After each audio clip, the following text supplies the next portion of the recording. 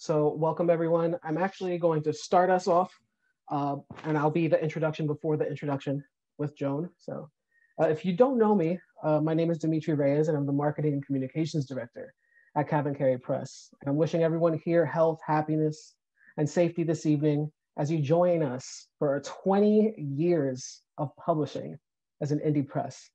In a moment, you'll be hearing from the creator of it all, the queen of this castle that we call CavanKerry, Joan Cusack Handler. But I wanted to mention a couple of things about the evening. First off, uh, we are showered with the gratitude for everyone that is here for sending in testimonials, recorded music, poems, and other film that you're going to be seeing this evening. Uh, all of you that are in attendance or are participating, uh, you are what makes everything that we do possible. This is why we do it. Uh, so although we can't see you or see you in the chat or hear you in the chat, we do want to feel your energies. So secondly, we're gonna hear from over 40 voices this evening, all from different parts of the country, uh, speaking about different subjects and themes. So just keep that in mind uh, that we are a press of the everyday and we do our due diligence to reach a general audience. Lastly, throughout the evening, uh, you have a closed captioning tab. You can check at the bottom. We have a closed captioner with us this evening. So if you're a Netflix person that likes to Netflix or Hulu with the closed captions, all you have to do is press the CC down below and you will be able to get an annotated uh, version of our presentation. So you can actually feel it in many different ways. So again, thank you. And without further ado, I'm going to introduce everyone to Joan Cusack Handler.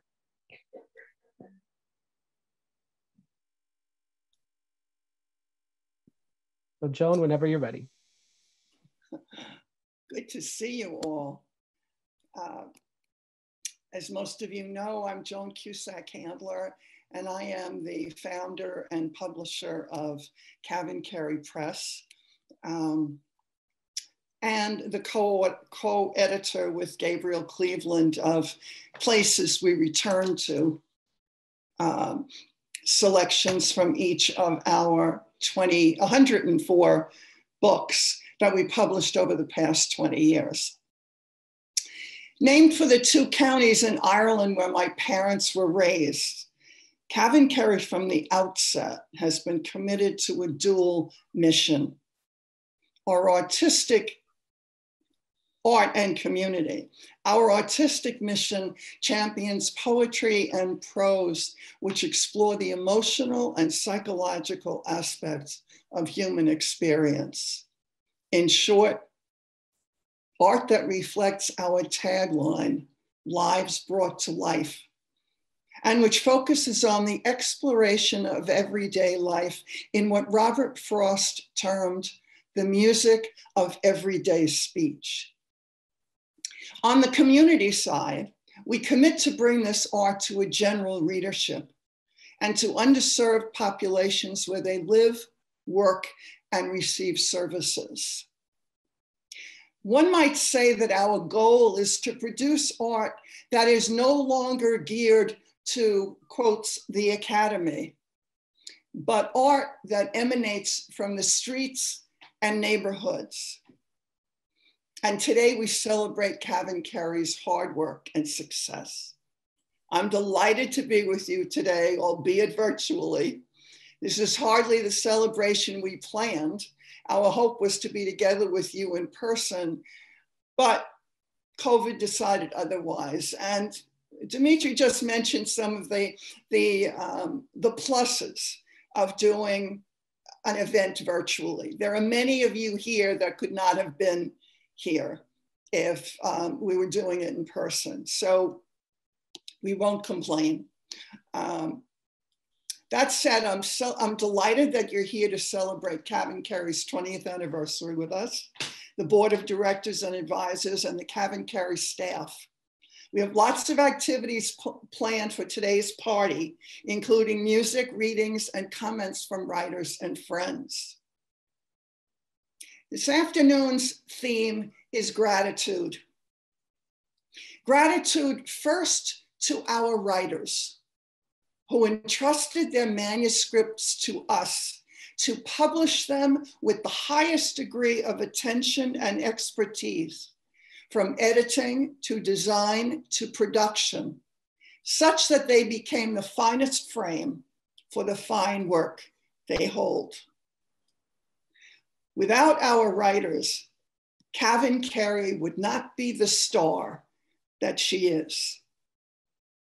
A press is only as strong as the works she publishes, and our authors among the finest writing today. We salute them. And we bow in humility and thanks to our beloved first managing editor, Florence Eisman, the first person I hired to work beside me as I set out to bring life to this fledgling idea. A poet herself, Florence was multi talented, intelligent, and extremely capable, and my partner in running this press for its first 13 years. We miss her, her wisdom, her generous laugh, her signature red lipstick. Gratitude also goes to CavanKerry poet Susan Jackson, whose gift in honor of her mother provided the support Kavin Carey needed to produce this commemorative anthology, Places We Return to.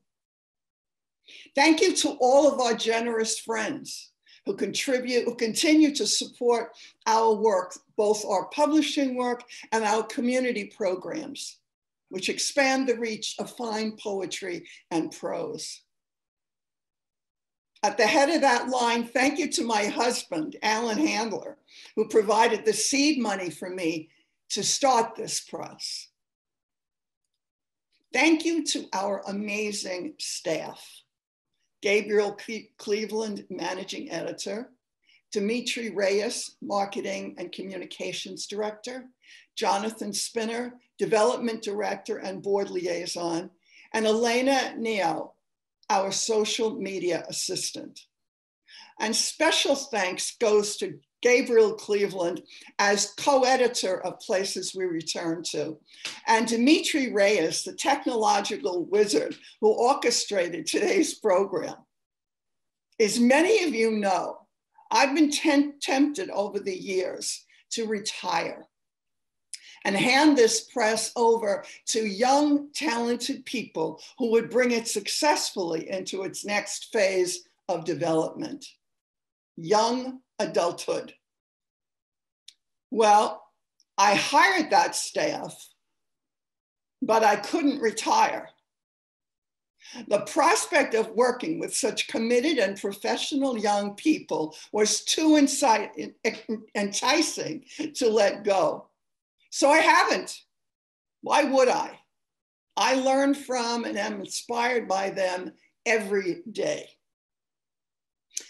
Thank you to our boards, both governors and advisors, our ambassadors in the world, both the literary sphere and the world at large.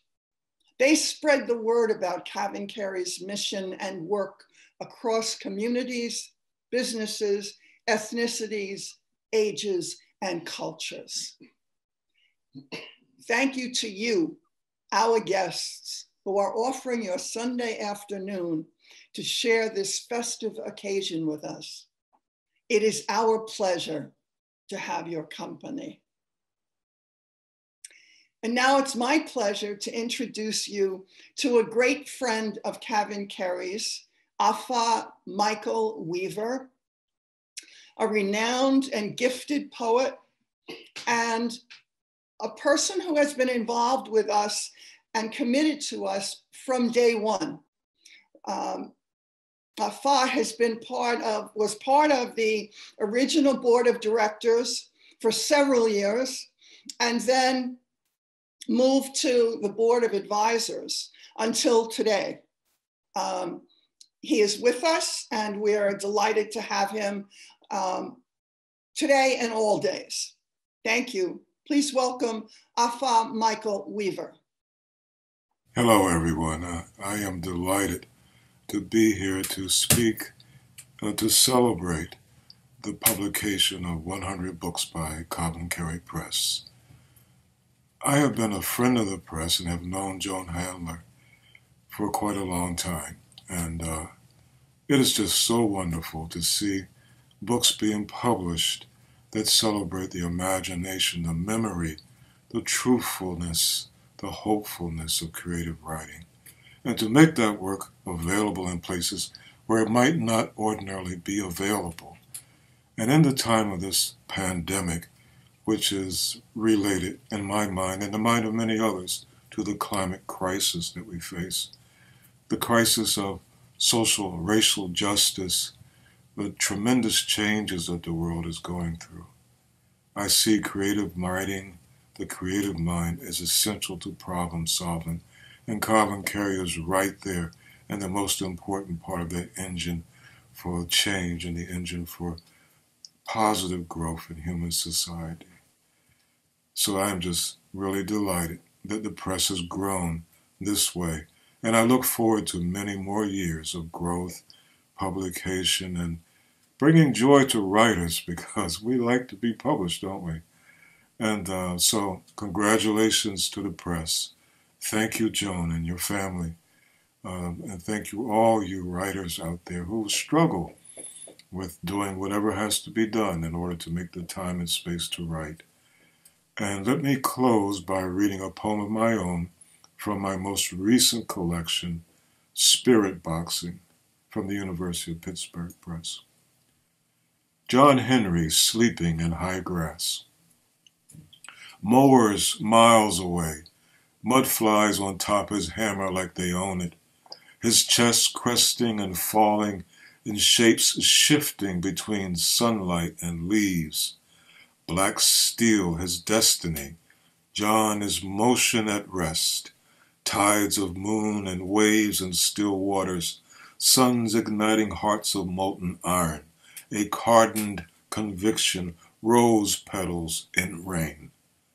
Sleep is a dream, the real world a poundage, work a sentence for being his mama's son. The hammer in his crib, the supernatural, a drum song of woodpeckers, cowbells in the field, heaven a home going back to, a place before the bugle call to be born.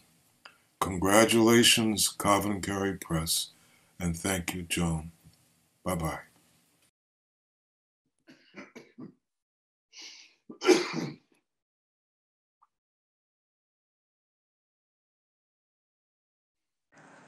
the Tobin Bridge for Pam. I have friends who are afraid of crossing bridges.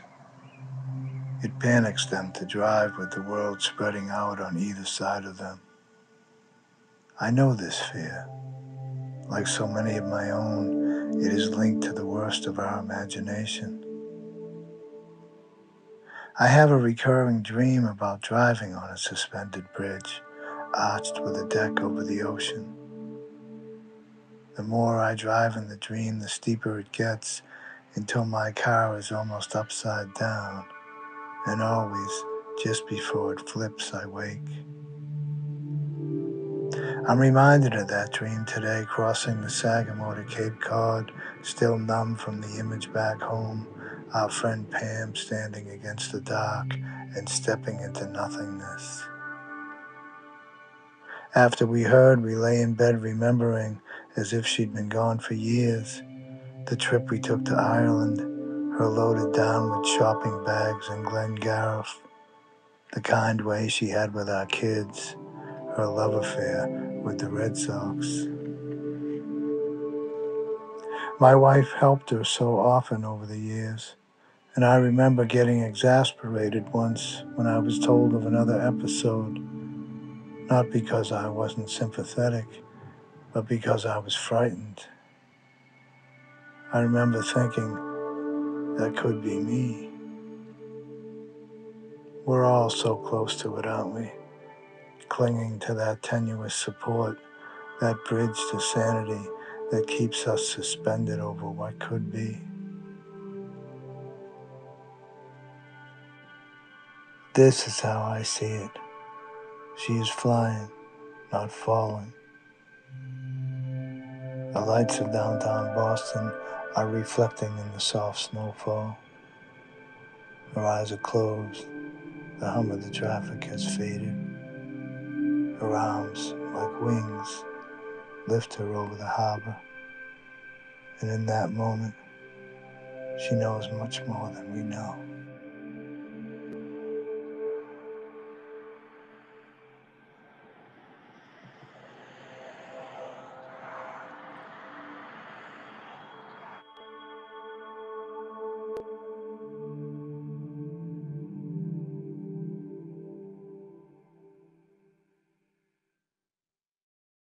And I'm honored to be participating tonight. Um, my poem that I'm reading is called Yop, and it's from A Bloom in a Rye. Read this love letter to life. Its pages turn in the ice fling off the fast car's roof. Follow the traveling carillon, the communism of the Gospels, the ice rink's joyful fourfold spotlight, how it shines the hair and adds grace. Eyes and words swerve into focus, nouns marry in metaphor, lines enter a stranger's memory and stay for seven years. Smell the multiflora roses, honeysuckle, burning leaves. Feel the inside of the body, the smooth core, Watch the wren pull the dead fledgling from the hole, feather by dusty feather. Guess the stories tailless squirrel on the woodpile, condom under the old folks' home sofa, the lady's internal monologue as she guards the Lamborghini at the auto show, red guts spilt like berries from rabbit mouth. I'd write even if each page's only destination were the stove for winter heat, again and again. Thank you.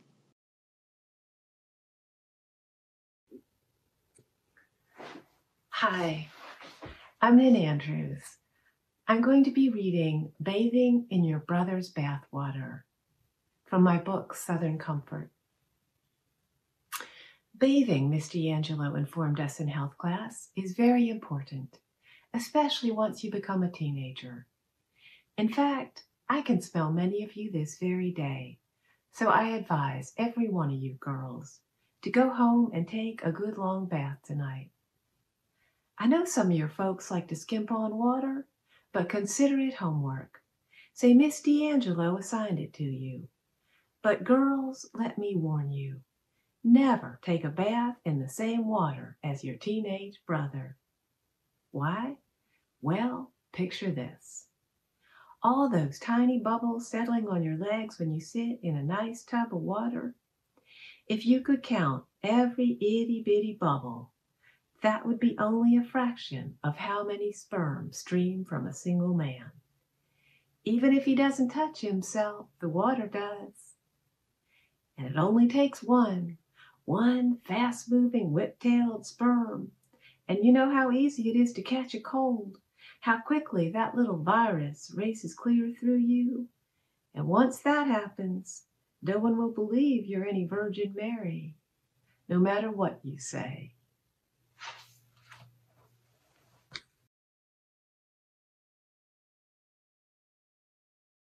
This excerpt is from Primary Lessons, a memoir published by CavanKerry Press.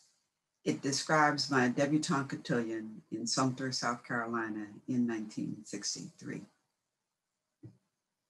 When we arrive at Lincoln High School, Mama goes through the main door into the gymnasium. Butch blows me a kiss before he follows her to the gym to await my official arrival. I'm ushered through a side entrance into the girls' locker room where 11 other girls in a wide array of rustling white gowns, elbow length gloves, and tiaras primp in front of the mirrors. We ooh and ah over each other's dresses, giddy with excitement and nervousness. I just hope I don't fall down the stairs when they call my name, says one girl.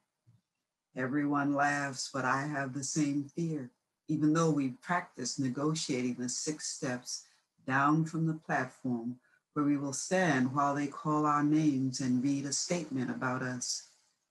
When Mrs. McCain announces that they're ready to present us, we get in line and march into the gymnasium. I suddenly get chills and begin to shake. At the back entrance, we're each handed a bouquet of red carnations tied with a wide red streamer that dangles below it. My bouquet dances in my hands. We can hear the rhythms of the live band playing, but the guests are hidden from our view by the large stage that's been built to serve as our launching pad. One by one, Mrs. McCain sends us up the back stairs onto the platform where we are to stand in the spotlight beneath a wooden trellis covered in red carnations. When it's my turn, she touches my shoulder and says, Good luck. As I step into the spotlight, a warmth comes over me and my butterflies disappear. I lift my chin and stand tall, unmindful of Mama's frequent warning that the tallest tree always attracts lightning. This night, I feel invincible. I smile as Mrs. McCain has told us to do, but I couldn't have done anything else, even if I wanted to. I'm so happy. I feel as if I could float down those six steps. A voice over the loudspeaker says, Ladies and gentlemen, it is my privilege to present Miss Sarah Marie White, the youngest daughter of Roberta Bracey White and William Edward White. Flashbulbs pop as Mr. E.C. Jones, the local Black photographer, snaps pictures from his perch high up on a ladder. I'm ecstatic this moment is being commemorated. The voice continues. Sarah is 16 years old and a senior here at Lincoln High School where she is the editor in chief of the school newspaper, a member of Quill and Scroll Honor Society, and an on air school reporter for radio station WDXY. Sarah will attend Morgan State College in the fall. When the voice stops, I begin my descent toward Butch, who is waiting at the bottom step Applause fills the air. When Butch takes my left hand, I drop into a deep curtsy, holding it for as long as I can before straightening up and letting him lead me to my position in a semicircle beside the other girls. He stands behind me, close enough that I can feel his warm breath on my neck. When the last girl has been introduced and the lights in the gymnasium are turned up high, I search the audience for Mama. I finally spot her at a table with friends. She's beaming. I smile in her direction, hoping that I've finally made her happy. When the band begins to play the Blue Danube, I turn toward Butch and we assume our dance position. As our line of dancers slowly circles the highly polished gym floor in a clockwise direction, I'm dizzy with excitement. Butch holds me steady and I melt into his lead. I can almost feel everyone's eyes following us with approval as we float along on the music. It feels as if we're part of a perfect wheel moving in perfect form. A crystal ball showers a magnificent array of colors upon us. Tonight, the fact that we're colored doesn't matter. Tonight, I feel like a beautiful princess smiled upon and feted by people I respect and who respect me. Tonight, I'm more than just another poor little colored girl living in the shadows. Tonight, I'm filled with the infinite possibilities of who I can become.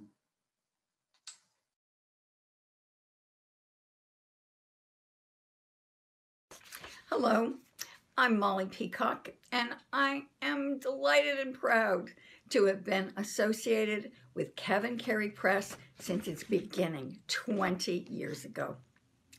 Just the way CavanKerry merges two Irish counties for its name, so its philosophy jubilantly combines passion with craft. Each CavanKerry book in the last two decades values emotion and all the secret sources of interior song that surprise us when we reach a wellspring. CavanKerry prizes that personal voice, knowing what a radical act it can be, and also knowing that the personal voice is always the way to the universal. It was a zygote of an idea in the imagination of Joan Cusack Handler 20 years ago. And over these past two decades, it's evolved into the expansive, generous presence it has in contemporary American letters today. You know, there's been another important fusing, and that is that each poet and writer that CavanKerry publishes has become part of the CavanKerry family of authors.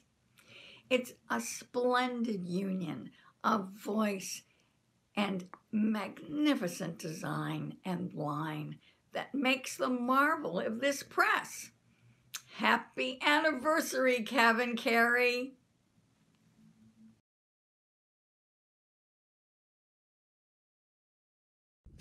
Happy anniversary, CavanKerry. I'm Harriet Levin, here to read my poem Smoke from my collection, My Oceanography.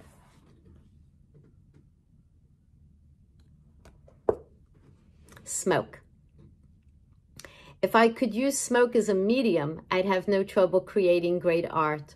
Strands of clove-scented smoke pull me in, layer by layer, amid the mesmerizing sound of rain hitting the roof, sidling off the windshield, and draining off the hood.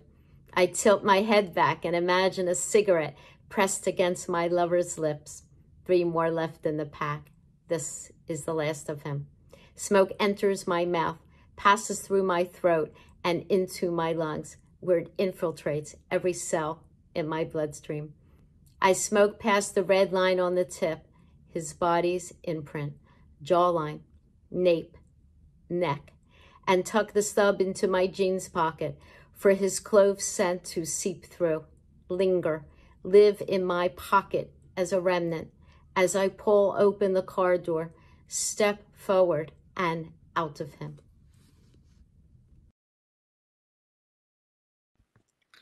Hi, everyone. I'm Shira Dentz, and I'm honored to be part of this CavanKerry Press anniversary celebration. I'm going to be reading a poem from my hybrid memoir published by CavanKerry Press, uh, Door of Thin Skins. Thank you. Circumflex. Back up, beginning with hugs, going nowhere to unstiffen me. A trampoline and have me embrace my father wrangling less standoffishly, holding me down to his sitting beside me to kiss me because he was, when I don't want, so uncomfortable to be touched with my being. She screams, so uncomfortable, anger a splinter, and withdrawn. A girl with no sex, to sitting in his lap, his own flesh, to provide me, and blood with a reparative, the zero at the center of an egg. Nurturant experience. Nothing happening to kissing, dragonfly body, tongue kissing, transparent as its wings, to fondling, a dragonfly needle into the heart, my breasts, needle eventually exposed. I wish I had a piano saying, You think? To portray the landscape. I'm doing this for you without hills, but really without mouths. I'm doing it for me. How the woodenness to the exasperated circumflex, teepee, fingering. She, the wooden dummy inside a shoe, to see if she was put there to keep its shape. Wet. What do you call your father?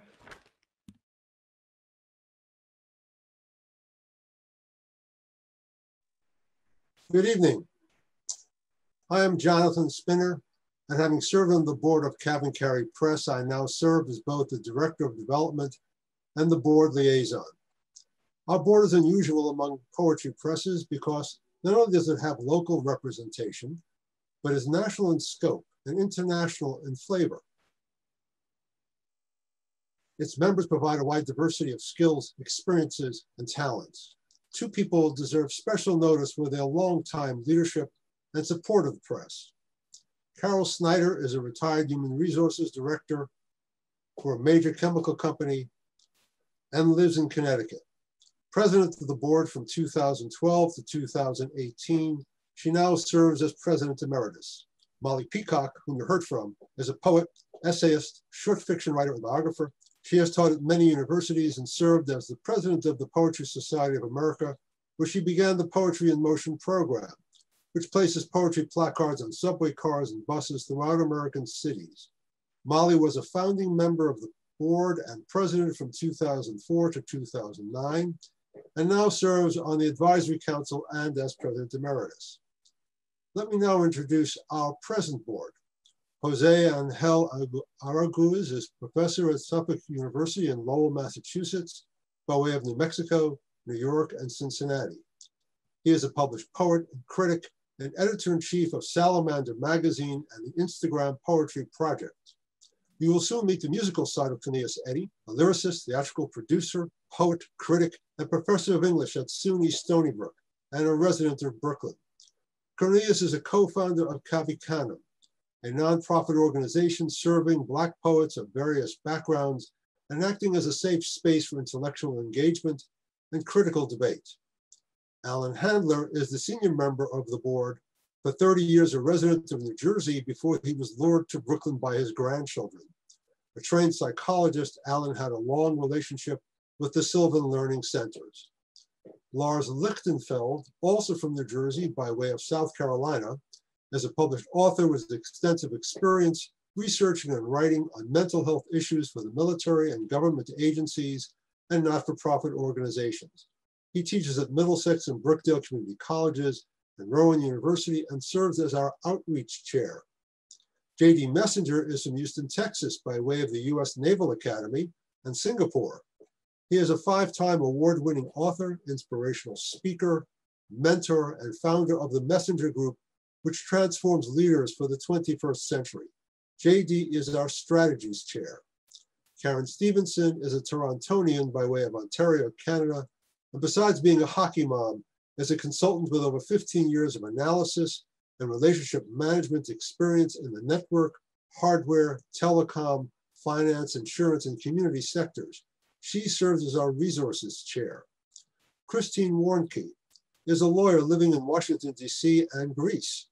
She is a senior vice president of Capitol Hill Consulting Group and represents clients on legislative, regulatory, and international matters before the US Congress and the White House. She has been at the center of women's initiatives as a member of the Feminist Majority Future PAC Board, which supports state and local women candidates.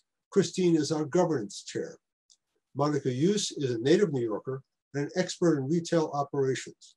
She has worked as manager of merchandising and sourcing at the Metropolitan Museum of Art with 13 years of global merchandising experience from a time at Brooks Brothers. Monica has been the chair of our 20th anniversary event committee, and tonight is culmination of 18 months of her efforts. Now, please welcome the Cornelius Eady Trio, followed by Monica Yus, who will give us special remarks.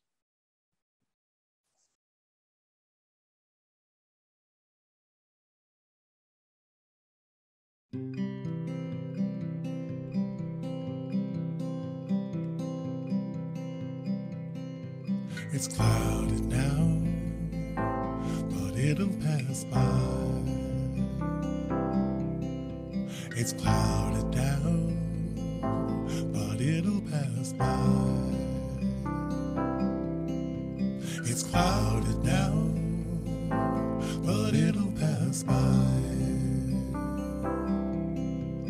clouded now, but it'll pass by.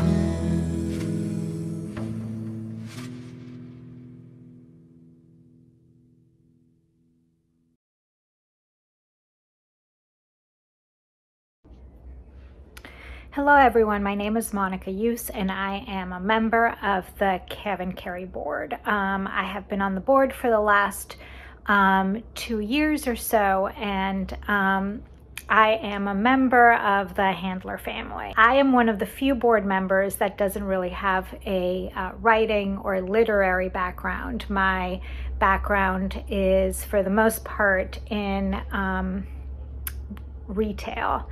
Uh, but I have um, been lucky enough to witness um, the evolution of CavanKerry over the last 20 years. From the time when it was um, an idea in Joan's mind, and um, she pulled all the resources together that she could get um, to launch this incredible platform for not only herself as um, a writer, but also um, for so many uh, poets and writers within the community.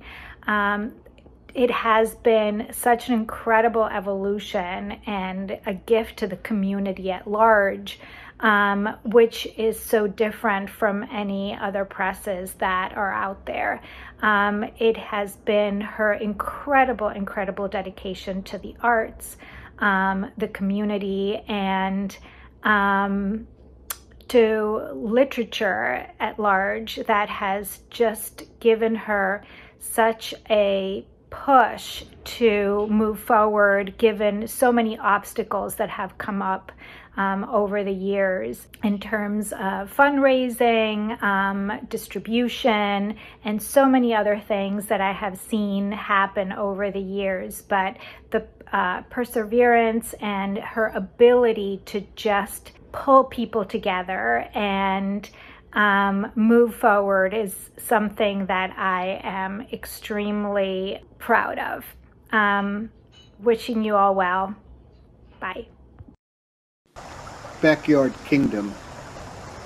All the way to heaven is heaven, St. Catherine of Siena supposedly said, and on most days, replete with the stabbed, shot, run over or into, the stroked, heart-seized and cancer-stricken, I'd say bullshit and be done with it.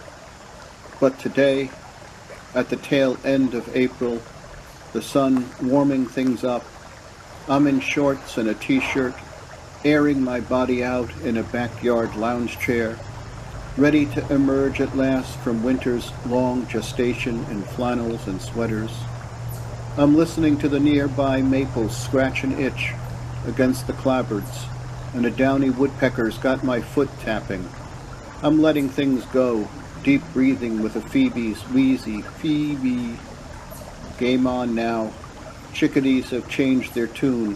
It's all, hey sweetie, hey sweetie, in the shine and sheen of new leaves. A cardinal cranks up its engine, a catbird mews and whistles, and a mourning dove responds to the earth's tilt with soft, insistent coos. When I shut my eyes, the wind DJs a mix of all these singular voices, and the delirium of their song won't take no for an answer. Take joy whenever you can get it, a wise old poet wrote. And how can I refuse this day that seems shaped for my delight, this luck of the draw moment in the sun, the air rippling with a green iridescence. So I say, I do, I do, to the day's proposal, and let myself float on April's soft, warm air even my sweat-stained t-shirt like raiment. For now, my listening body, an ear that hears the kingdom, always here.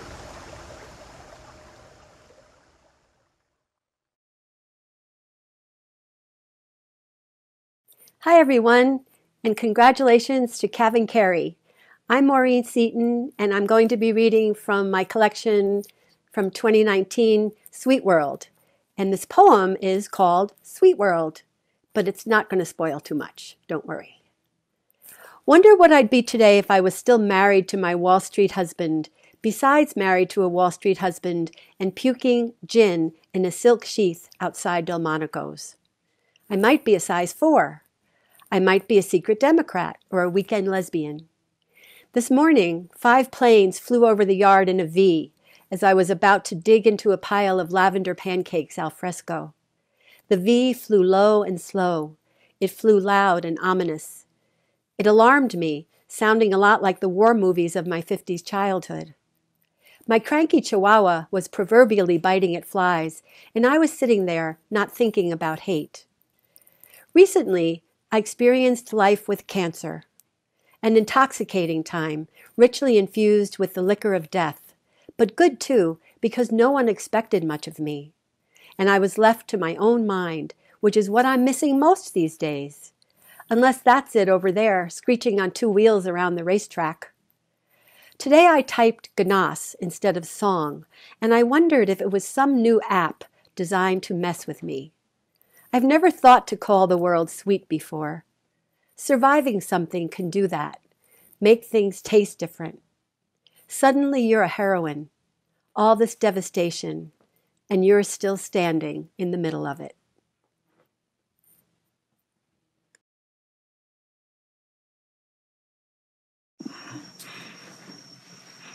Hello, this is Joseph O. Legaspi, and I would like to congratulate CavanKerry for its 20th anniversary. And here's hoping for 20 more years. Congratulations. Uh, I'm reading a poem from my second collection uh, titled Threshold uh, from CavanKerry Press. Um, the title of the poem is Chelsea Peters. Chelsea Piers. My lover and I stroll down the piers post pescatarian dinner in midsummer. He points to the moon veiled by clouds. The Hudson River murmurs soft waves. Across, the buildings glitter like theater.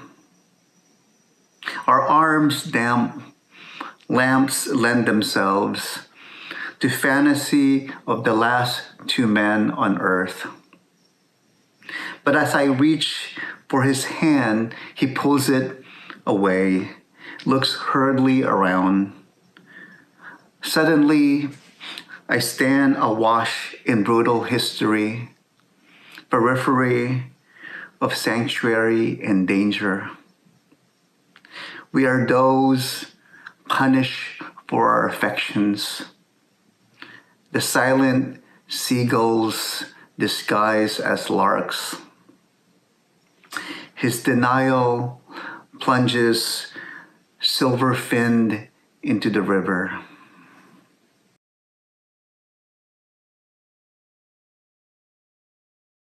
My name is Margot Taft Stever, and I'm honored to participate in the CavanKerry Press 20th anniversary celebration.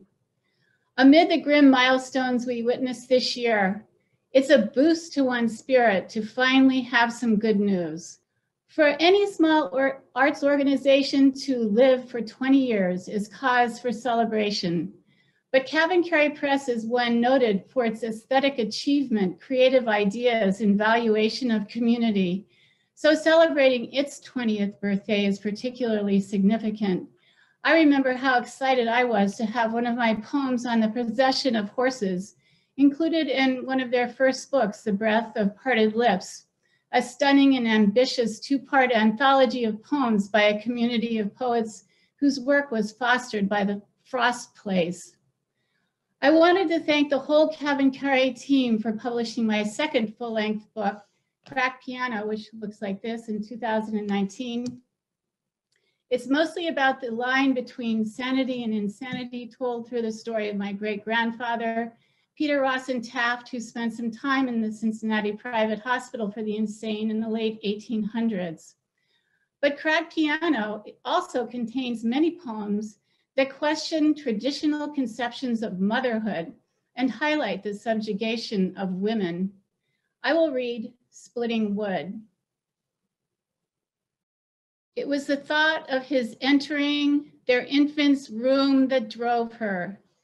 She remembered his face the first time she saw him.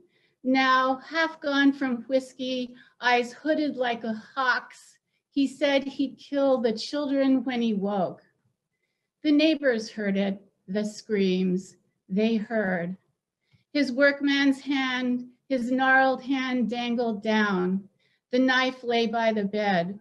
She slipped from the covers while he slept, placed her feet on the floorboards just so.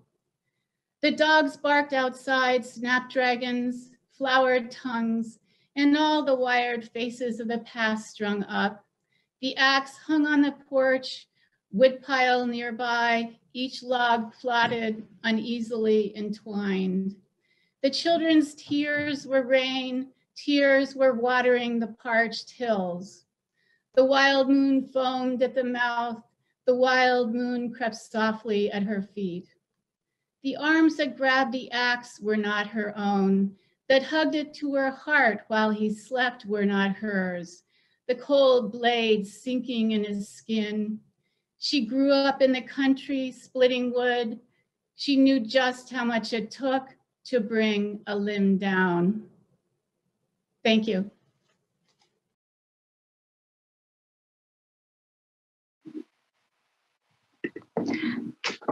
Hi, I'm Cati Porter.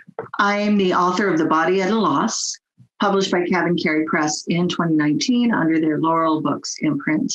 And today I am here to read you a poem from that collection, Taking My Time.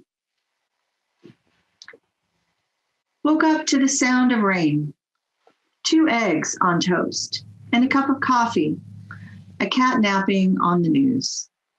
In my robe on a Tuesday morning, the sound of the rain like typing on the lawn. The coughing starts early today, each hitch, each hiccup, a jolt. In an hour, I will be in the office of my GP going over the radiology results. But for now, I can imagine the outcome any way I like, sunny side up.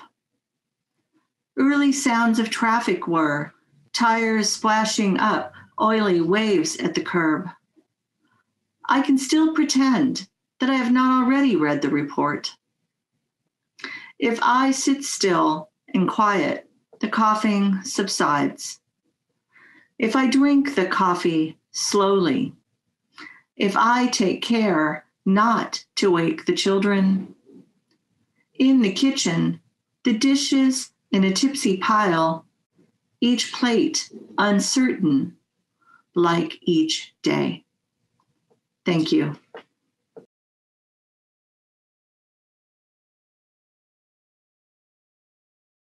Hi, I'm Gabriel Cleveland, managing editor for CavanKerry Press and co-editor of the spectacular new anthology we're highlighting tonight, which you can order on our website now, and which we are so thrilled and excited to share with each of you. This collection is not only the culmination of 16 months of extremely laborious work on Joan's and my part, it is representative of the inception, production, and growth that our small but mighty press has undergone over the last two decades. Our guiding principle when picking one selection from each of the 104 books we've published thus far was to both encapsulate the experience of that particular work and to represent its place among the whole of CavanKerry's library. The effect of this careful consideration is that, much like how poems become greater than the sum of their parts when assembled with clear vision into a book, this anthology represents the spirit and personality of CavanKerry Press as a whole. Here's our selection from the late Robert Seder's memoir, To the Marrow, which details the trials and tribulations of his experience living with lymphoma and undergoing bone marrow transplants in the hope of recovery. As part of our Laurel Books series, his work reveals the lived experience of illness with all of its daily moments of darkness, reflection, and mercifully, light. This excerpt comes two days before his transplant. I'm still getting used to this place. This is my home. I can't tell you I'm claustrophobic or that I hate the place or this is even the last place in the world you'd want to be. There are worse places. You don't want to be in Bosnia, although you could survive that war and have no cancer. You don't want to be on death row. You don't want to be living on the street, not in January in Boston, but you don't want to be here. We put up photos of the kids and some of Claire's drawings. I brought a few books, but have barely looked at them. I brought paper and pencils, but the tape recorder is all I can manage right now.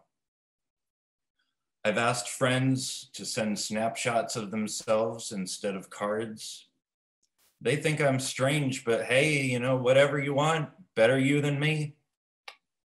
You don't want to be here. The photos and drawings don't make me cry anymore. They've become wallpaper. All these people on the outside going about their business, me in here, pisses me off. Jean's been the only visitor so far. They call, they complain about the weather. It snows, it's cold. They tell me I picked a good time to be indoors for a month. They tell me I'm better off inside. Bull, I'm not well off. Or am I? I'm in a good hospital with people who know what they're doing and care. I couldn't be better. I have something my callers don't. I have a chance today and tomorrow and for the next however long it takes to fight the thing that could kill me. When I talked about death, people would respond with some version of, you know, any of us crossing the street could be hit by a bus. And I'd respond, yeah, but when I get to the other side of the street, I'll still have cancer. What I'm doing here is trying to let the bus hit the cancer, but to jump myself out of the way at the last second. Jump too soon, the cancer jumps with me. Jump too late, Later, they will come and take me back to the radiation chamber for my second dose and do the whole thing over again. They have to split up my dosage into six sessions over three days. One humongous dose would be too much for me all at once. Jump. I began my pursuit of an education and career in writing due to a deep need to understand how to communicate effectively with others. Where my spoken words failed, I was consistently able to bring my worldview to life in clear, relatable language through writing. This was my lifeline in an existence that felt otherwise isolating and inarticulable. Imagine my surprise and joy when I discovered CavanKerry Press, a publisher of books that meet its ethos of lives brought to life. In my capacity as managing editor, I work closely with all of our authors, each of whom subscribes to a similar viewpoint of the importance and power of sharing life experiences through clear, powerful writing. It is extremely gratifying to be among peers creating work that cuts through the silence and seeking to build a bridge between themselves and their readers. In order to turn their manuscripts into finished books, I shepherd them through each stage of the production process, in which I coordinate with Baron Wormser, who you'll hear shortly, who content edits each book to draw out its strength and potential while staying true to the author's vision, Joy Arbor, who copy edits each book for clarity, grammar, and consistency of style, Ryan Scheife, our designer, Mayfly Design, who encapsulates the literary artistry of each book with equal visual artistry by creating stunning covers and inviting interiors. McNaughton and Gunn for bringing our books into the physical realm with superior printing services. The Chicago Distribution Center, which gets our books into bookstores across the country and of course, the wonderful Joan Handler, who provides expert advice, direction, and ideas at every stage of the process. It's been a pleasure and a privilege to work daily on projects that I deeply believe in and nothing beats the experience of cracking open a carton of new books for the first time and seeing all the hard work come to fruition, except maybe when I get to send those books to eager readers like yourself when the orders come pouring in, because I manage our website order fulfillment as well. And I can't wait to ship you your copy of this spectacular anthology, which you can order right now. Now we'll have a word from Baron Wormser, former poet laureate of Maine, memoirist, founder of the Frost Place Conference on Poetry and Teaching, and our content editor extraordinaire, after which, in new CavanKerry tradition, we'll have a miniature online reading featuring our 2020 collection. Thank you.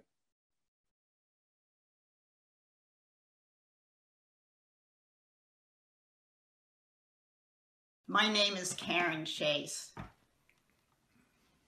I met Joan Handler, the founder of CavanKerry Press in the late 1990s. In the mountains of New Hampshire, we were both teaching at the Robert Frost Place that summer. We became really good friends. It was the era at the Frost Place of it was a great time. It was the era of Baron Wormser and Jack Wiler, people who later became involved with CavanKerry.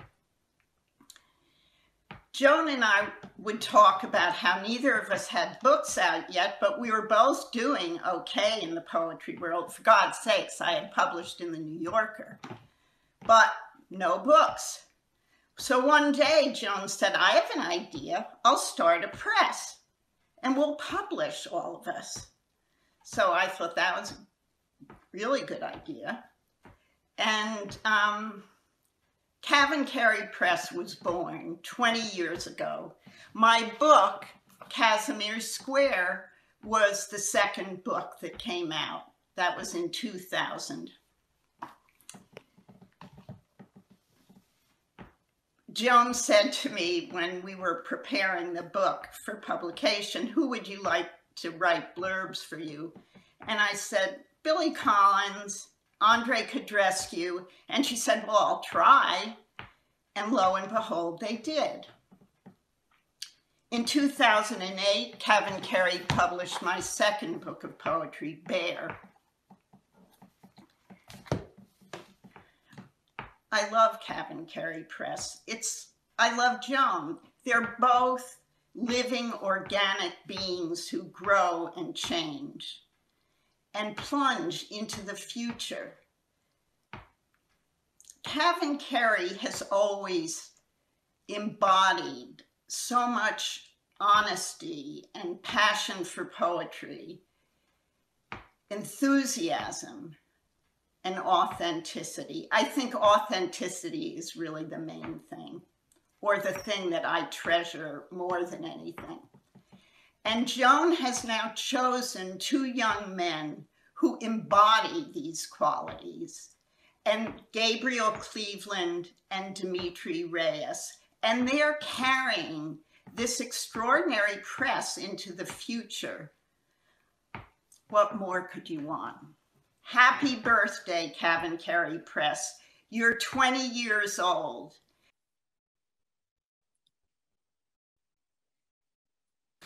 Hi, I'm January Gill O'Neil, and I want to wish CavanKerry congratulations on their 20th anniversary in publishing.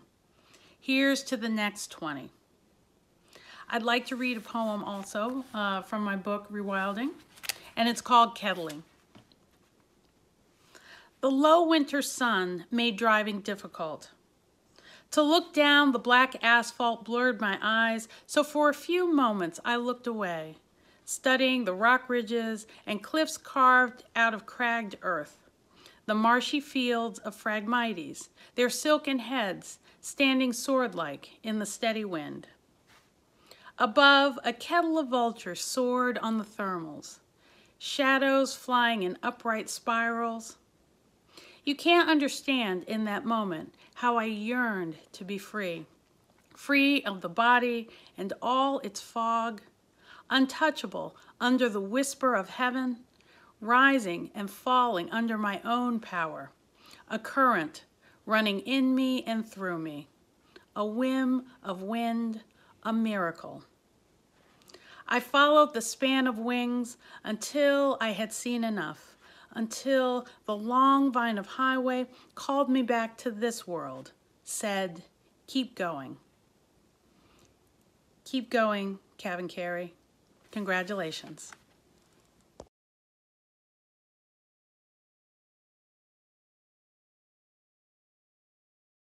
Hi, I'm Mark Nepo, and it's a joy to be part of this celebration of the 20th anniversary of CavanKerry Press. I am very grateful to be a CavanKerry author, and my thanks and admiration to Joan and everyone who has made this vision a reality and brought so many voices into the world.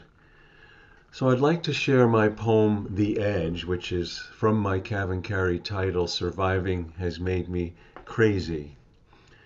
The Edge. They had traveled a long way, each from a beginning the others couldn't imagine.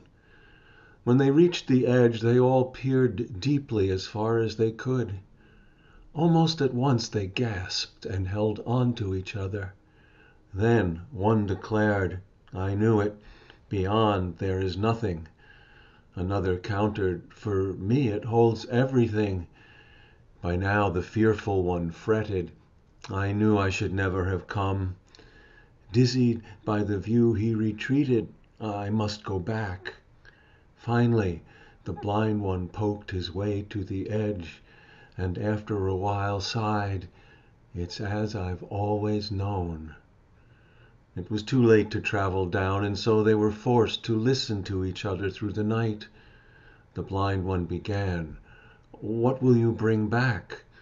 The one who saw nothing said, That where we are is all there is, that's what I'll say. The one who saw everything smiled and said, I'll bear witness that we are cradled by something incomprehensible. At this the fearful one jumped in. Well, my advice will be to just stay put. In the silence that followed, they asked the blind one, who confessed, I'm not going back. And one thing this poem has taught me is that we carry these voices within us the one who sees nothing, the one who sees everything, the fearful one, and the blind one who somehow knows the foundational truth under all our trouble. And it's our job to listen to all those voices and negotiate them. Again, congratulations to CavanKerry for this remarkable, remarkable journey, and, and so glad to be a part of it. Hi, I'm Frannie Lindsay, and I'm going to be reading a poem to you from my sixth book, which CavanKerry released this past fall. Um, the name of the poem is Bead. Bead. I still have the shirt he wore to the doctor the day she took both his hands and looked into his milky eyes and told him as if it were some kind of blessing. None of us cried, none of that. Instead, we sat in an awkward huddle and skimmed the scan report, all seven single spaced pages, making no sense, especially to him who swore to God that a life was a string of beads made of single bright days, and all you needed to do to be happy was thread them. Now and then hold your strand up to whatever light there was, but always keep a firm grip on the bead you were passing your red string through that very moment. Then go back to your stringing and go back again until they were gone.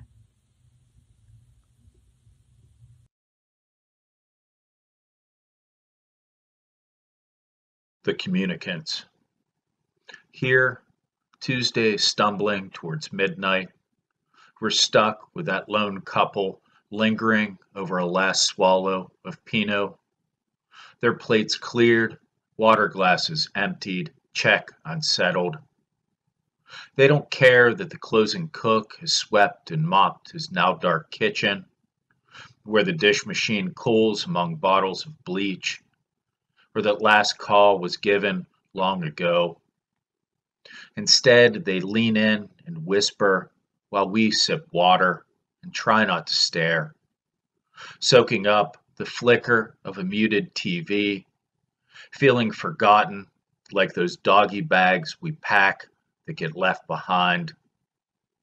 And if work can be worship, it finds us supplicant and waiting for the chirp of chairs pushing back from their table, followed by heels clicking on hard wood, a recessional marking the end of service, the front door closing like a prayer, quiet on its hinges.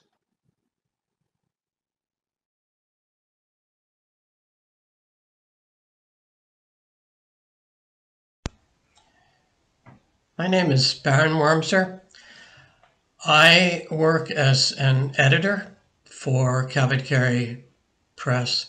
I have been connected with the press since the inception of the press, one way or another, which is to say, I've been published by Cabot two books of poetry and a book of short stories called The Poetry Life, and have been on the board of Cabot and as I say, go back to the inception of the press when it was sort of a glimmer in uh, Joan Handler's eyes.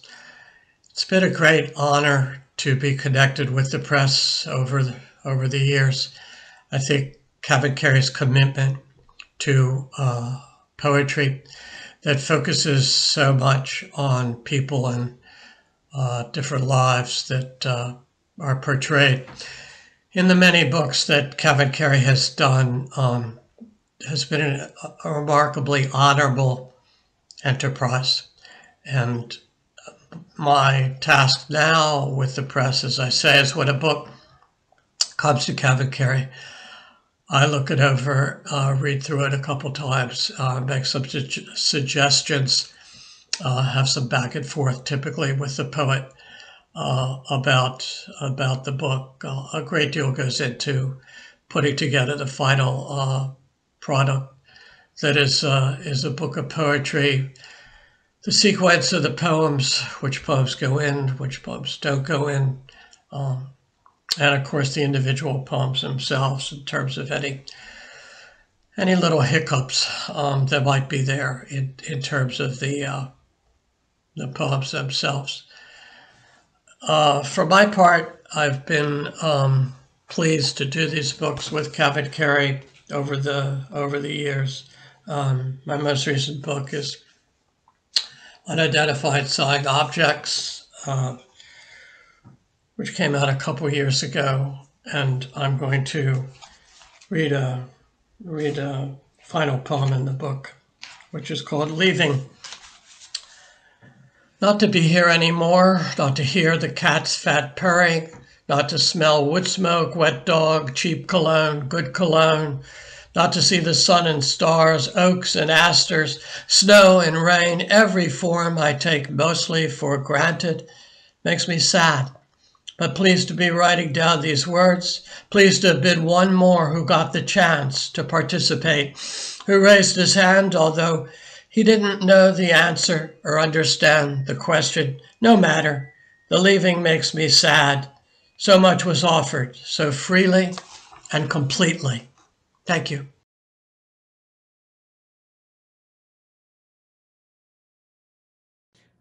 I'm Rachel Hadas.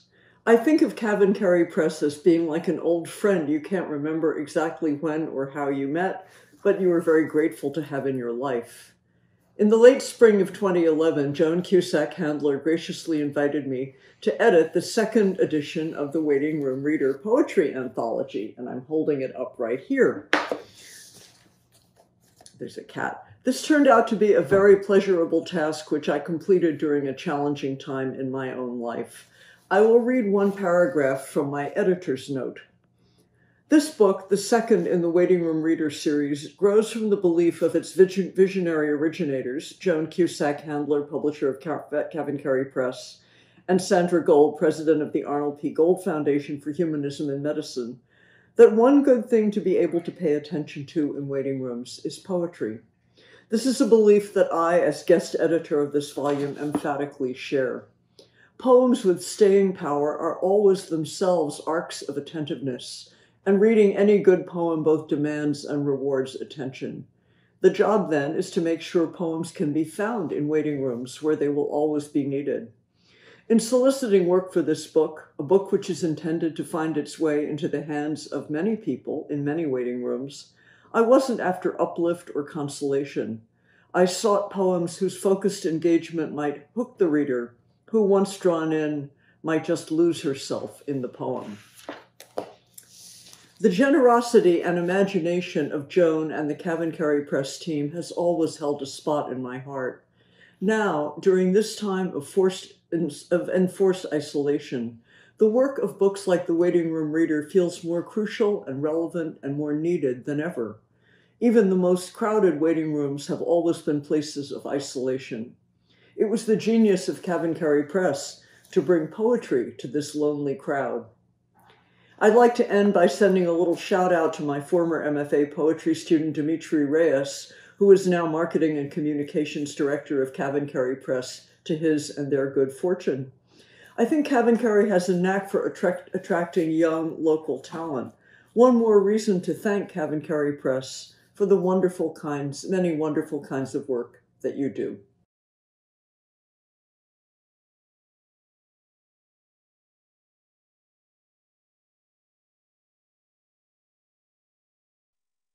That was so nice. Thank you, Rachel. And again, thank you everyone for being here so far. Thank you for your patience and your care and your attention to everything arts. I'm going to make my piece fairly short uh, before we enter our last big movement. Um, but really, I am humbled by everything I've heard so far. Uh, and it's so amazing to be virtually surrounded by uh, teachers and colleagues and friends, old and, and newly made. This is the greatest thing about the poetry world, like how large it is, yet we are so interconnected even more so during this time in our history. That's what drew me into CavanKerry Press. I couldn't ask for a better title as marketing and communications director of New Jersey's most established press as well. Uh, although I can sound, I could say that this sounds like a dream for anyone interested in a writing career, the title doesn't, doesn't really give justice to the satisfaction I get from working with all the authors, especially on a project like this. Um, in the name marketing and communications, my work is bringing our writers to the open market and communicating, working with them to help share their work with the general public, a base commitment of CavanKerry, giving writers access uh, and access to general readerships everywhere, which is what every writer wants at the end of the day, right? As Afaa said earlier, uh, this reaches beyond buzzwords like campaigns and sales and marketability. Although these are pieces that make up the lifeblood DNA that's publishing, there is more to this art uh, that we produce and peruse and pursue as our artistic selves, like love and pain and obsession and humanity. What it really means for us to be human and to collaborate and share those ideas is why I'm here. And I'm glad to be in a space where my colleagues feel the same way. And it is expressed consistently through the literature that we continue to produce, like this poem, for instance, Elegy. My father knew we were afraid, and he was also afraid. So that night after dinner, he brought a chair from the kitchen, put a shotgun across his lap, and rocked back and forth. And it was cold because the sun went down early, and the blackness of the woods around us made the world seem still.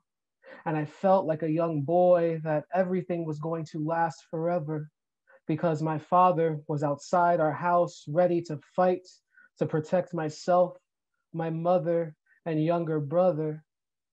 I have wondered why I have not heard much about men like my father instead of those songs that sing, Why do you treat me so? My father was not a good man, seldom home and mean to my mother and short tempered with his sons. But he was that night the father I remembered sitting on the porch because he heard a Negro had talked back to some white man in town. This was by the late Sam Cornish. And as we celebrate this evening, it's also important to realize that even our writers that are no longer with us are still with us, forever a part of our ever growing and changing Cary Press community. I'm so happy and blessed to have this opportunity to keep these memories alive while making new ones with all we are in contact with. So now that's the time of the evening where we've arrived basically to the end. We're at our final movement. Thanks everyone for hanging out with us. Uh, please purchase the anthology. It spans our 20 years of our literary excellence and continue to advocate for yourselves, advocate for writing, and you'll hear the rest of the testimonies. But first, I wanted to introduce the Cornelius E. Trio and more wonderful poetry. Thank you.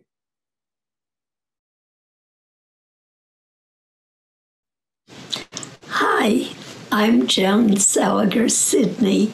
Although my book, Body of Diminishing Motion Poems and a Memoir, was published in 2005 as CavanKerry's second Laurel book title, The Literature of Illness imprint, it still looks fresh and beautiful. In those days, CavanKerry was the rare press that would publish a multi genre book, a trendsetter. Body of Diminishing Motion went on to become an Eric Hoffer finalist. Here's how it looks with its gorgeous cover by Joan Cusack Handler's cousin.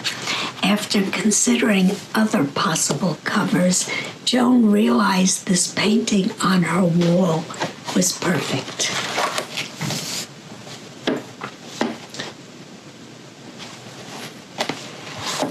I also want to stress the importance of CavanKerry Press's commitment to publish literature by disabled voices. Here's an example of one of my poems about my long life with multiple sclerosis. Also, my long life as a swimmer. These days, as long as our community center is open, I'm swimming half a mile, 18 laps back and forth uh, almost every day. And this poem is about laps. In this marriage of water and air, always she is the beginner, teaching her hands and arms to push away the water, to raise her head, to breathe though she swims her laps, butterflying up and back, trying to kick loose her leg muscles, the hamstrings spasm. Then left foot crosses right, forces her to invent a one legged way to swim. No more can she hoist her body out of the pool or climb the metal stairs. Instead, she sits in the hydraulic chair, waits for someone to flick the switch. Immobile in air, gravity reclaims her.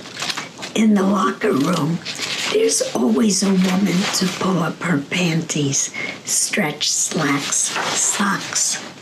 After years of early bird swims, they know each other's bodies, wrinkling skin, diminishing limbs.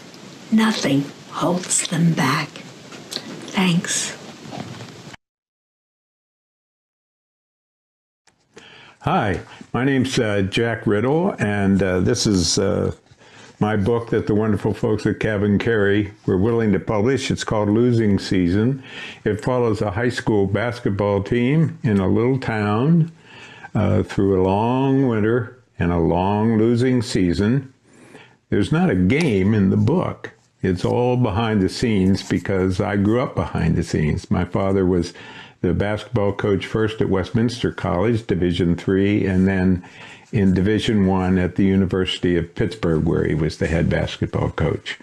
And I'm going to read a poem called Coach in Effigy.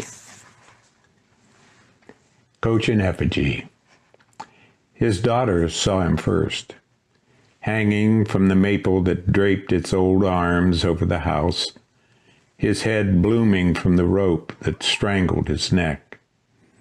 In the morning's moonlight, she read their name scrawled like a scar across his chest. She remembered the way his hands had held her years ago when, bloodied from a fall, she'd let the scream we all carry go to him. He seemed to hold it in his hands. Now, within this losing season, she wants to take this anonymous lynching in her arms. Ask the hands that made it and the fists that rose against it to join. Stand around her as she sings the only song. Let's the head rest, Let's the heart give out.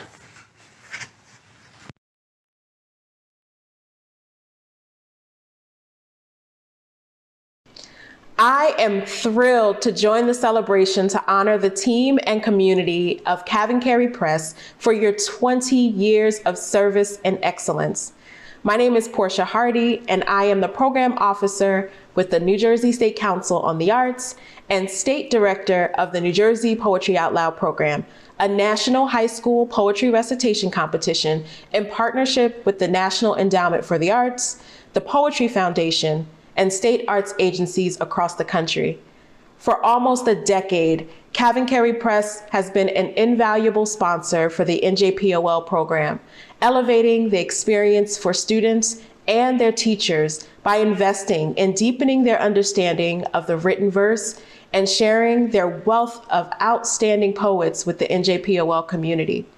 Through the Carey Gift Books program, Participants build their personal and in school poetry library, and their sponsorship of teachers' participation in the Frost Place Poetry Conference has created the space for New Jersey educators to express their aspirations that they have for themselves and their students. Thank you for your continued support of the New Jersey Poetry Out Loud program and making up this community where teenagers can show up as the best version of themselves. Congratulations, CavanKerry Press. Come here, she said. I'll teach you a poem. Play the one about the handsome man and woman standing on the steps of her apartment. My heart is that black violin, played slowly. Approach your grief with determination Nuns fret not at their convent's narrow room. If they come for you, they come for me. Today in America, people were bought and sold into the valley of death. Road the 600. Today, we woke up to a revolution of snow. To love and let go again and again. No life treads silently but clouds and cloudy shadows wander free. Higher and higher, he lies above me in a blue light. And who is to say there is more of a reason or more to love?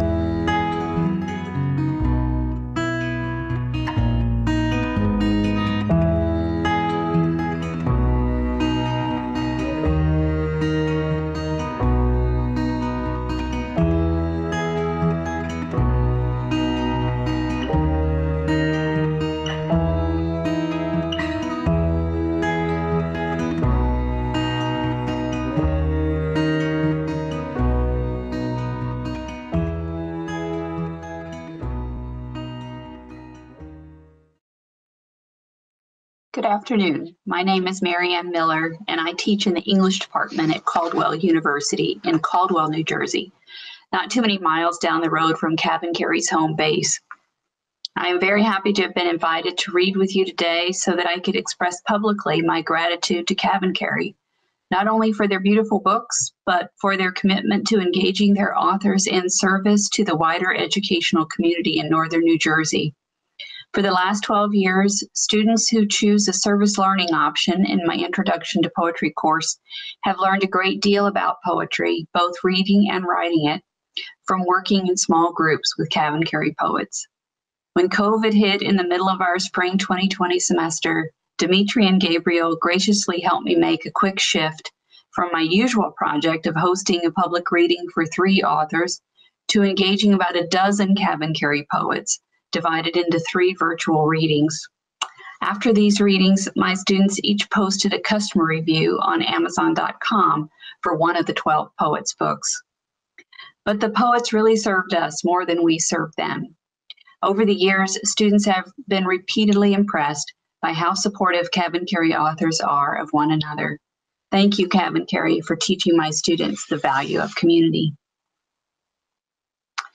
So I'm here uh, this afternoon to read a poem by Peggy Penn. Um, it's from her first poetry collection uh, entitled So Close, published by CavanKerry in 2001.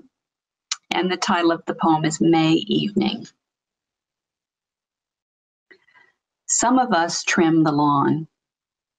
Some of us look for our wallet. Some of us wipe the dishes.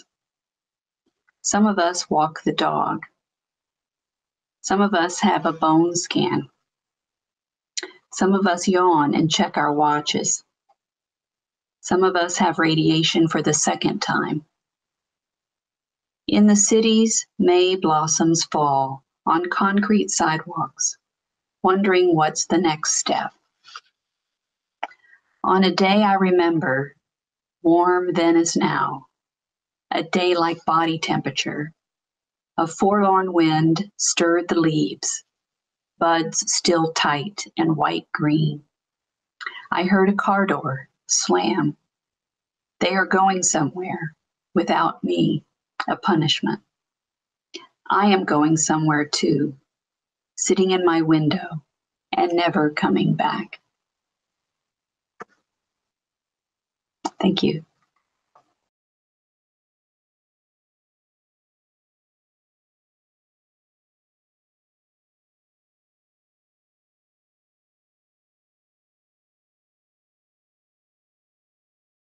Old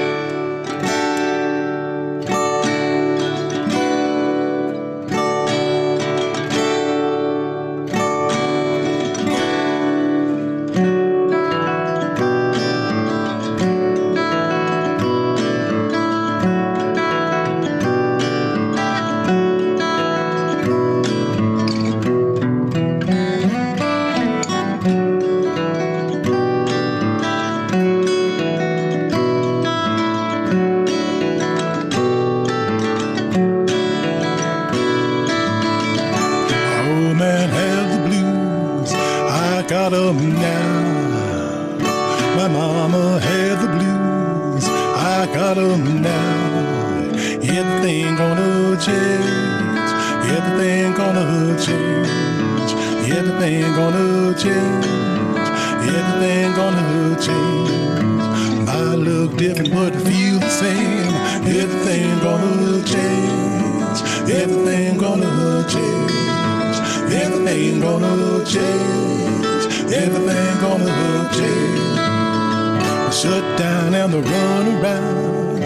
I got 'em now. Shut down and the run around. I got 'em now. Everything gonna change. Everything gonna change. Everything gonna change. Everything gonna change.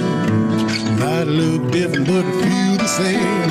Everything gonna change. Everything gonna change. Everything gonna change. Everything's gonna change. Stink eye and the pass you by. I got 'em now. The stink eye and the pass you by. I got 'em now. Everything gonna change. Everything gonna change. Everything gonna change. Everything gonna change. Might look different, but it feel the same. Everything gonna change. Everything gonna change. Everything gonna change. Everything gonna change. My old man had the blues. I got them now. My mama had the blues. I got them now.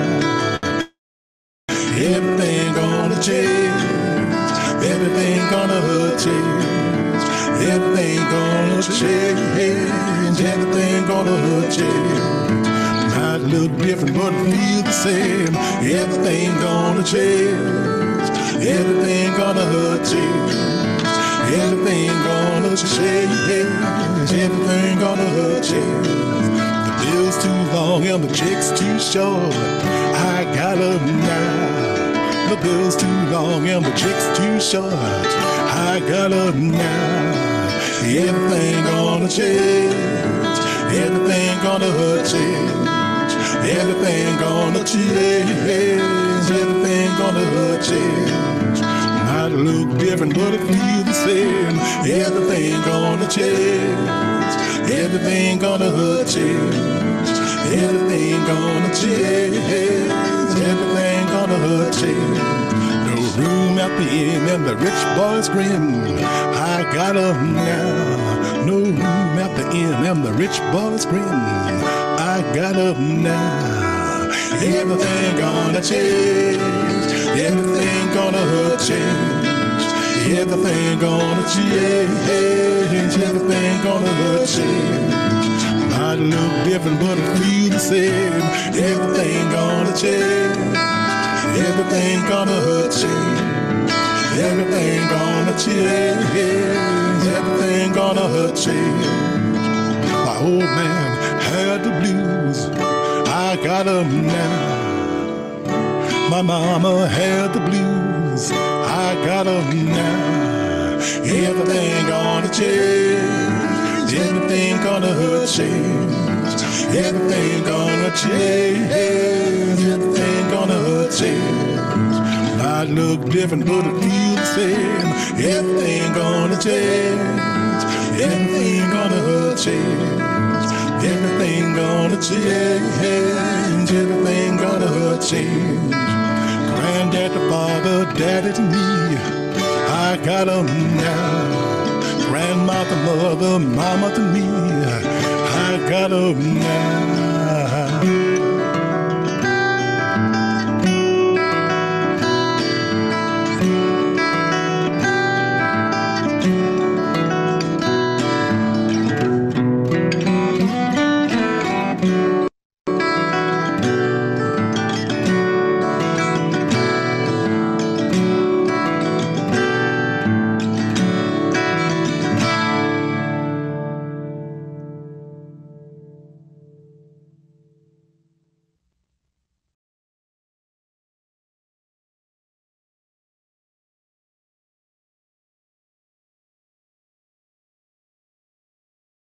Greetings from Sarasota, Florida. I'm Teresa Carson.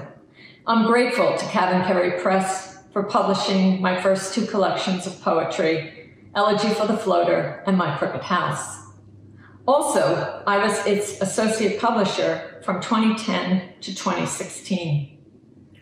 Today, I'll be remembering two important members of the CavanKerry community who are no longer with us, Florence Eisman and Jack Wiler. Let me tell you a few things about Florence.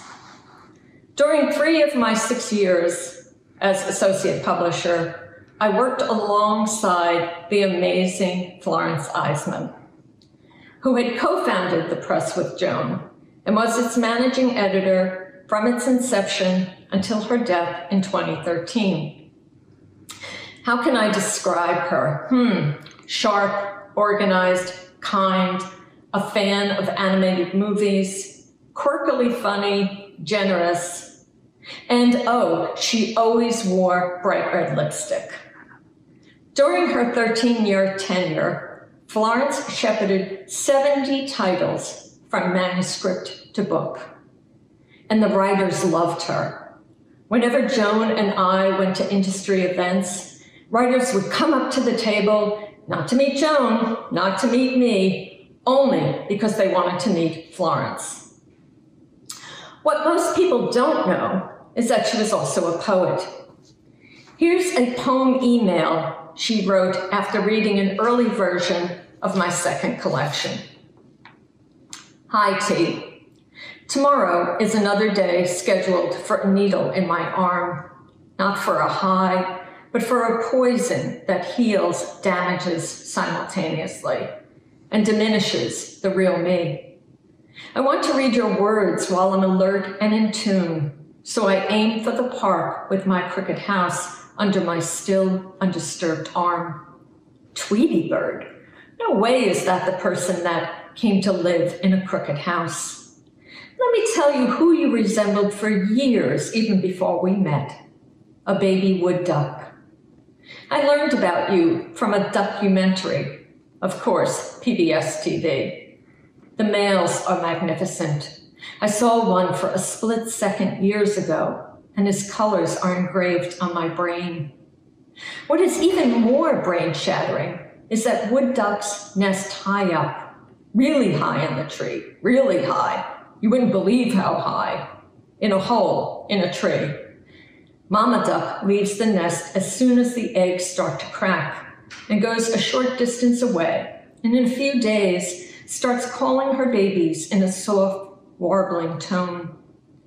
One baby wood duck approaches the edge of the hole let me anthropomorphize for a moment.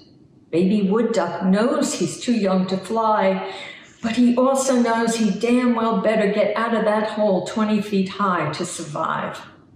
Baby wood duck steps over the hole's rim and drops to earth from 20 feet, alive on the earth. T, your work is brave, brave, alive, full of risk, leaving me on a high.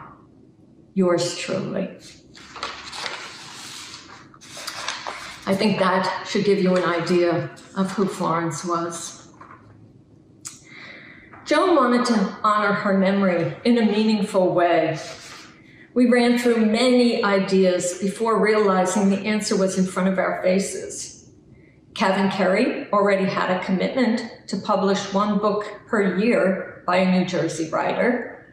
Florence had lived in New Jersey for most of her adult life. Why not dedicate that book to her? Thus, the Florence Eisman Memorial Collection was initiated in 2017 with Tina Kelly's Abloom and Awry.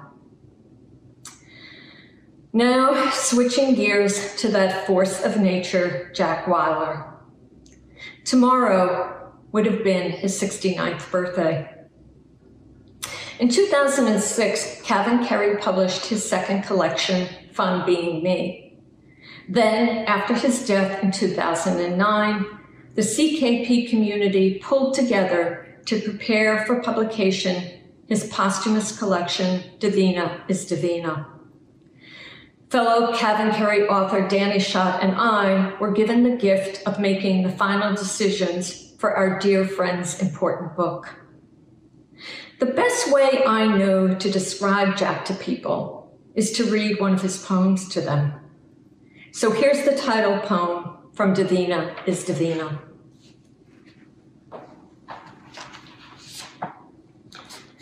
Divina is Divina. My beloved had a friend. My beloved is Joanna. Her friend is Divina. Of course, my beloved's real name is Marco, and a friend's real name is Hector. My beloved brought Divina to my home. She spoke no English. I spoke no Spanish. Of course, I spoke a little Spanish, and Divina tried a little English. My beloved and I have two dogs. Divina loved our dogs and took them out. When she came to visit, she would stand outside and cry, Joanna, and inside the dogs would cry. My beloved's friend Divina died, not suddenly, not prettily, not like anyone should die. She died in a hospital in the city of New York, and no one knew her name. She was Hector Gomez, She had no family. She lay quiet and still and faded into the world. No one in the hospital knew Davina. If we had stood outside and shouted her name, they would have walked us to the side and asked us to leave. They wouldn't have been jumping up with joy to hear our cry, like my dogs, like Joanna, like me. So my beloved's friend met her end alone in a city hospital with no dogs prancing around her, no flowers blooming, even though it was spring. You could say, and you should, what the fuck is this? You could be angry, and you should. What kind of world tosses humans in the trash? But that would be like asking why the leaves blow in the fall. It would be like asking why flowers wilt in hot sun. It would be like asking why Hector is Divina. Hector is Divina because the flowers bloom. Hector is Divina because the sun rises. Hector is Divina because she is, because we are, because the sun is, because we die, because, because. Hector is Davina because we need to hear someone outside our door crying our names. Davina is Davina. I think that poem should give you an idea of who Jack was. So, although they are not here to celebrate with us, Florence and Jack will always be members of the CavanKerry community. Happy 20th, Carey Press. I hope there will be many more years and many more books in your future.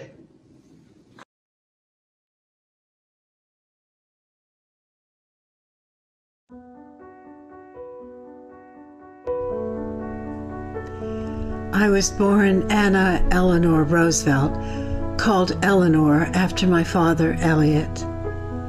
My daughter is Anna Eleanor, called Anna. Her daughter, my granddaughter, bears our name as well, only we call her Sisty. Anna Eleanor Roosevelt is the name I bore until I married Franklin and added a second field of roses from the Dutch to my name. Soon I will be name only Anna Eleanor Roosevelt Roosevelt. Anna, after my mother who died at 29. Eleanor, after my father who died at 34. Field of Roses, Field of Roses. A name to be carved in stone, yet a vision if you will see it one field of roses followed by another.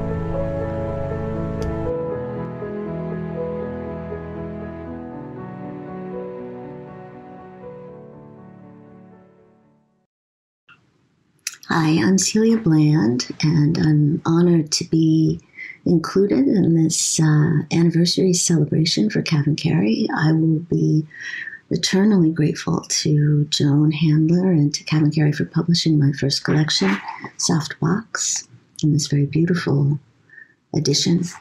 Um, my, my poem is called Maternity. It was written in the early 2000s, and uh, it was inspired by the life of Anna Akhmatova, who had been a very popular poet before the Russian Revolution and was persecuted after the revolution. Her husband was killed, her son was imprisoned, and I was reading about how she waited outside the prison with food for um, for her son, um, amongst all the other mothers, and um, which is something she writes about in one of her poems, and it's something that has inspired a number of poems um, by women poets. Uh, but this is my perspective maternity. Akhmatova writing odes to plows to free her son. I know that surrender now, that betrayal of self and art, those long waits outside the prison gates in snow. It is terrible to love. It was not the baby, but the child repeating my vowels, curses, verbs indiscriminately, playing his toys along my legs and stomach as if I were only landscape. Thank you. Happy anniversary.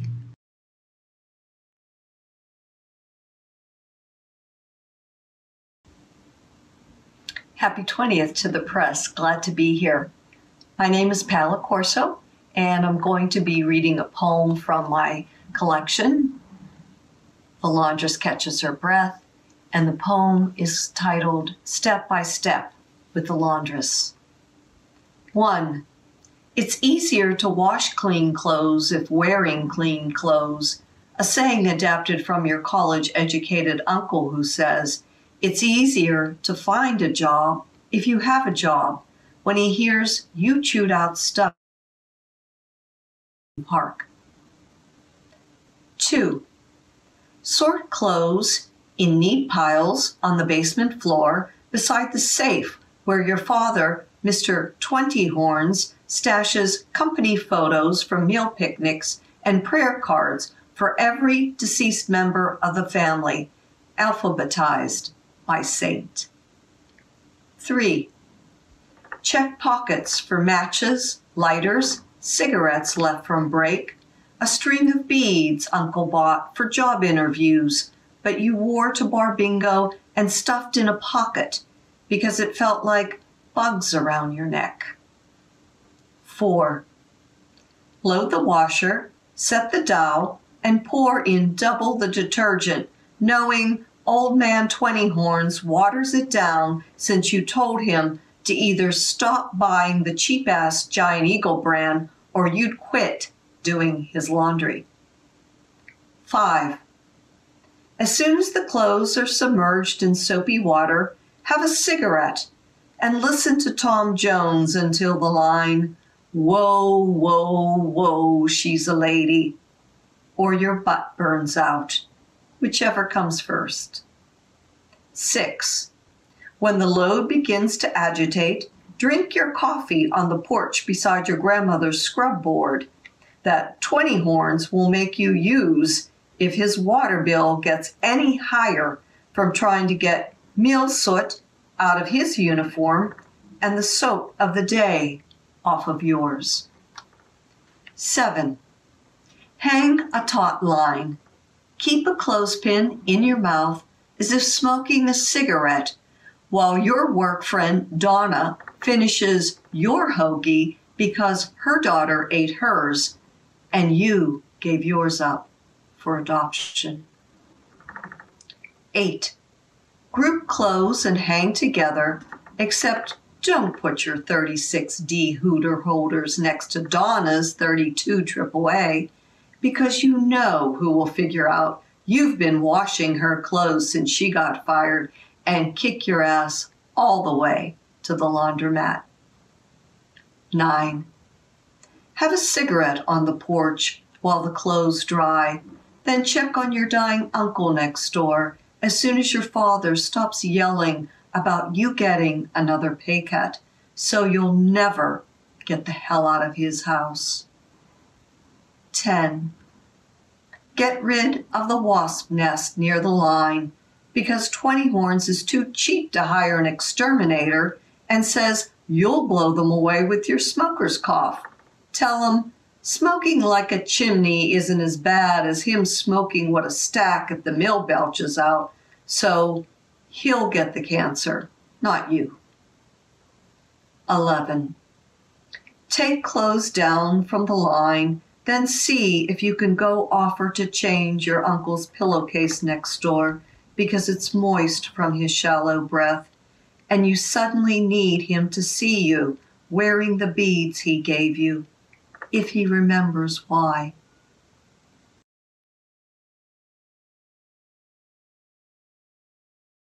Twelve.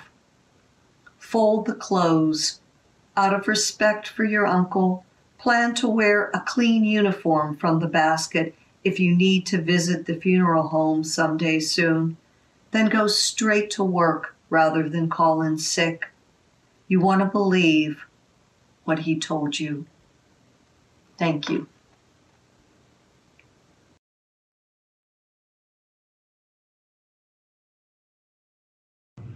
Allison, I felt bad today for telling you that Kanye's Bound 2 was the worst song I ever heard. You said you really liked it, and said no more than that, though I know you were annoyed. I went home and listened to it again and again and again, three times. I didn't watch the video, I just listened. I still don't love it, but I don't hate it either. I realized being young or not too old means listening with fresh ears, being able to hear the beauty or truth that someone else can hear. Somehow I forgot that. Thanks for the reminder, Danny. My name is Danny Shot, and that poem is from my book Works, which was published by CavanKerry in 2018. I'd like to congratulate CavanKerry Press and Joan Cusack Handler in particular for 20 years of excellence in the publishing field. Also, congratulations to the hardworking, conscientious staff who continuously puts out excellent products. 20 years is no small thing. As a matter of fact, it's a grand achievement. Congratulations to CavanKerry Press.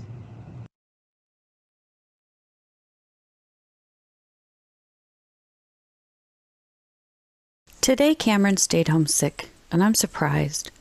He's almost never sick, and he loves school so much.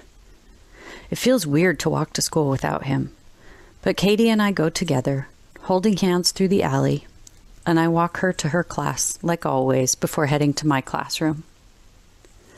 She sometimes doesn't want me to leave, and I hate leaving too. The kindergarten classroom's the cheeriest room in the whole school, with lots of art and small round tables with boxes of scissors and crayons in the middle. But I'm a good kid, so I kiss her on the top of her head and remind her that mom is coming to get her at lunchtime and trek upstairs to my classroom with its rows of desks facing the chalkboard. Walking home by myself feels odd, but at least it isn't far. I hope Cam is feeling good enough to play outside after school because it's warm today. When I get to the end of the alley, I can see our big yellow house down the block on the other side of the street, and there's a white van in the driveway with the engine chugging. If I squint, I can see it says Holt Adoption Services on it, and my heart leaps. Are we getting another brother or sister today? Is that why Cam stayed home? To help welcome the new kid?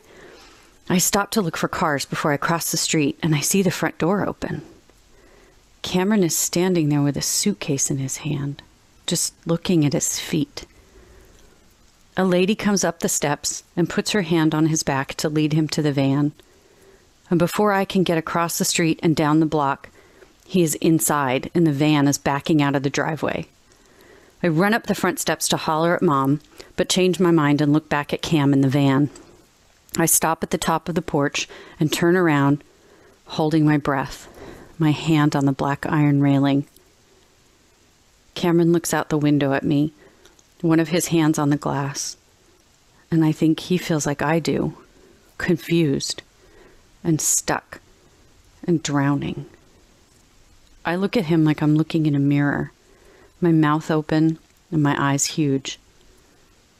The smoke from the back of the van curls up past his window, and the van drives down the steep hill away from our house. There's a thick ball in my throat and I sit down hard, my backpack thumping behind me. The front door is still open, but nobody is there. I sit there for a long time until I hear mommy calling me from the kitchen to come in and shut the door. I walk slowly up the stairs to the top floor and peek in the boys' bedroom. Chris isn't home from school yet. Cam's bed is made just like always, but his dresser drawers are empty, and his soccer ball isn't there. He isn't sick. He's gone.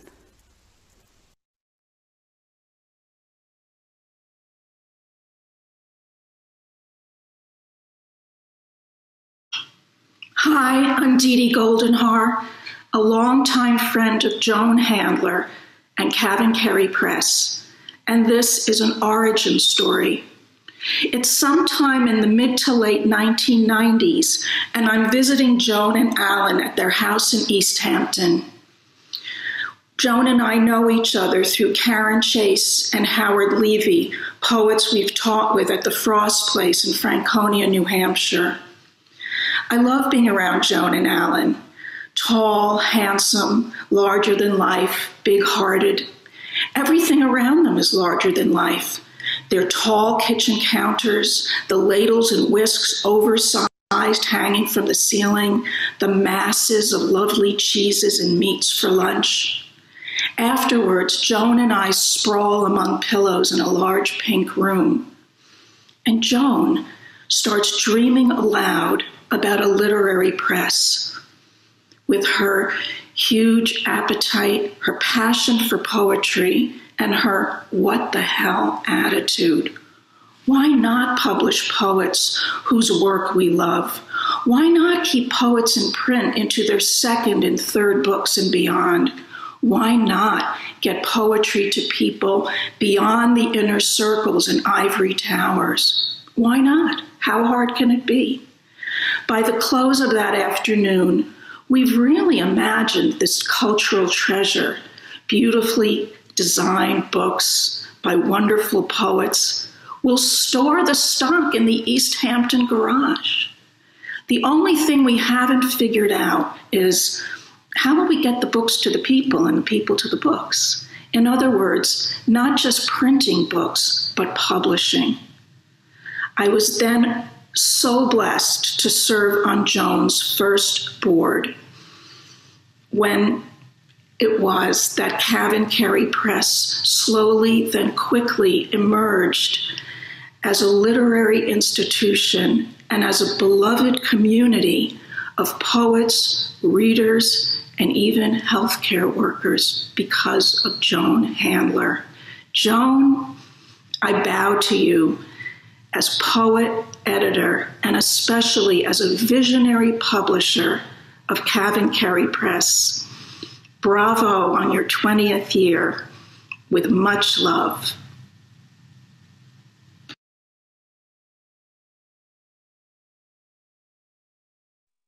Wow, if I could just have all of the panelists just like clap it up and try to fill in the entirety of everyone's living room or office right now. Thank you, thank you, thank you for hanging in there the entire time. Thank you for being with us so much.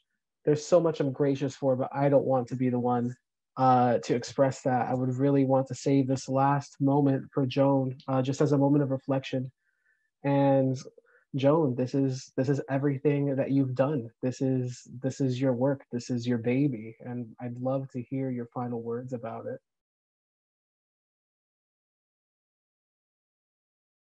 I'm amazed. I'm humbled. I'm um, I feel exhilarated. Um, I can't. I, can't find the words to really express how, how deeply I have felt this entire performance, this entire party, um, the, the, the, the, the, poems, the, the fact that people made their own videos. They, and I'm one of those people who's very frightened if you say, make a video. Um, so I'm in awe of all of you who did that. Um, and just the generosity of your work, the generosity of your comments, um, this incredible sense of community that I get from this afternoon. And there, I can't think of any greater tribute to CavanKerry than the one that you have put together